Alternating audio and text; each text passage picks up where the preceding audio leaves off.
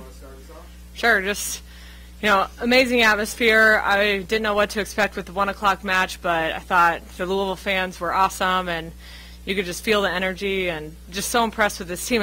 I've been impressed all year, but continue to be impressed just with our poise and mindset and confidence, and you know, we it just never falters. So um, I think that goes a long ways this time of year, and it's something that we can always hold on to. And you know, Florida is a storied program, and you just never know how you're going to come out against a program like that. And so it was awesome to see us be the first one to punch, and we just never backed down. Any questions?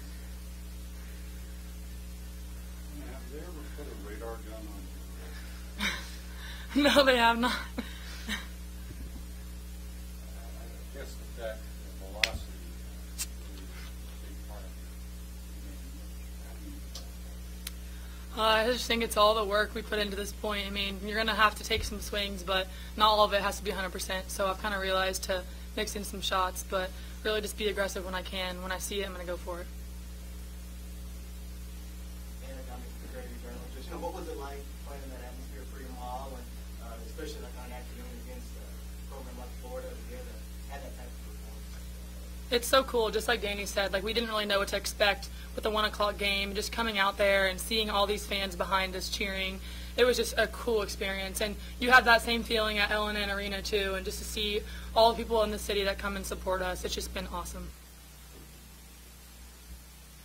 I guess for any of you, how important was it to uh, answer that run they had in, in game two and, and get up two nothing? Yeah, I think it was um, a big part of the fans and the atmosphere. I feel like when we were down, the fans got up and cheered, and that really like hyped us up and turned us up to play. So I think um, we owe that to the fans when we were down the second set. You draw this kind of a crowd at one o'clock on weekday.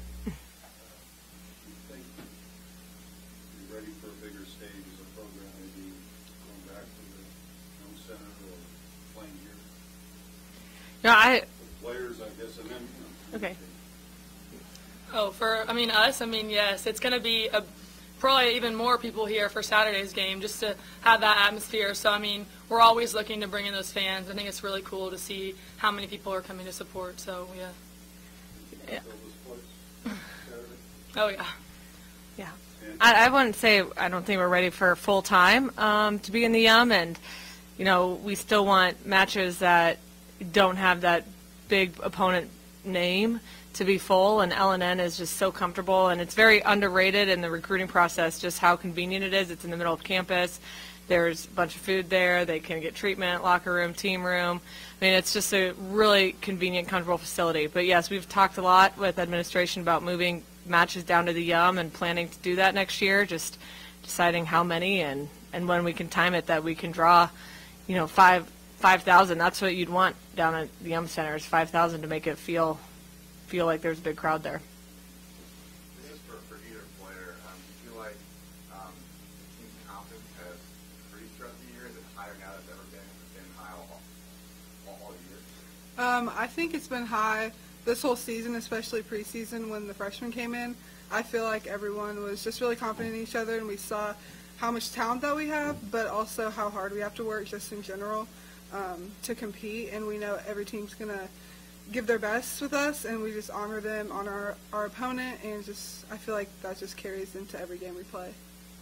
Yeah, I mean, I just think from the start, this team has been dialed in ever since day one, and just seeing how we've progressed all year and seeing all those tough times and when we have faced adversity, this team is relentless. I mean, we bounce back, we don't let anything get to us, and when things aren't going our way, we are staying composed. So it's really cool to see tonight. And when they pushed us in that second set, we had all that trust in us. We looked at each other in the eye and know we have no doubt. It sounded like after the y'all were singing all, all I do is win. Uh, a, a, a good song for y'all, I feel like. Uh, what was both teams' celebration like like today? Um, We were just, yeah, we were just exciting. saying we're really excited, but it's also that weird feeling where we're excited, but we aren't done yet, and we're going to go right back out here in 20 minutes and scout the next two teams, whoever we're going to play. So I think it's a mix. We need to be proud that we have gotten to this point, but also know the work is not done yet.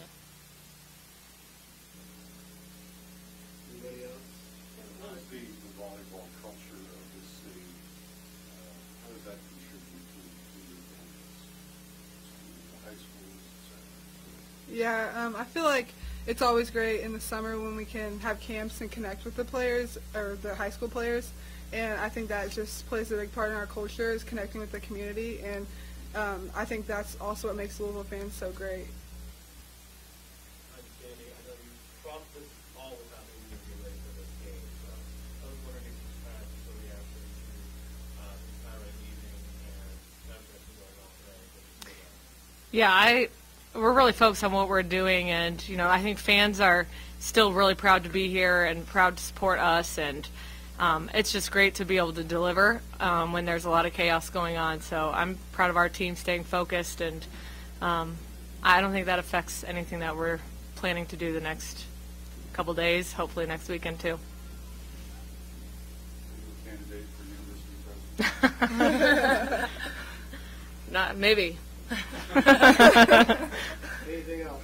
I have one more. Um, Dani, this is the second time the program going on TV. Uh, Leah, what does it mean for you to have, um, to have, to have an accomplishment? Oh, it means a lot. And I, reflecting back to when I got hired five years ago, we were just focusing on making it back to the Sweet 16 because it had been since 2005. So to be able to do that three times and now back-to-back Elite Eights, you can really see the the culture shifting and you know our brand is getting more popular in the volleyball world and you know that's what we set out to do and you know Amaya was one of the first players we recruited when we got here and you know she really believed in the vision and it's just really special to be able to share that with some of those players that we recruited and um, that they get to be a part of this and it's a big deal.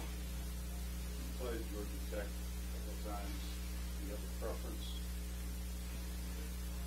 I don't think we have a preference. We'll I see wouldn't how it say- goes. Yeah, e- both teams are going to come out competing hard, and either way, we're going to have fun and play together. Familiarity an advantage or not? Um, It can be, but it's also hard to beat a team three times, so Yeah. it'll be interesting. We'll yeah, see. they're they're going to be hungry if we're going to play them. All right. Thanks, guys. Thank, Thank you. you.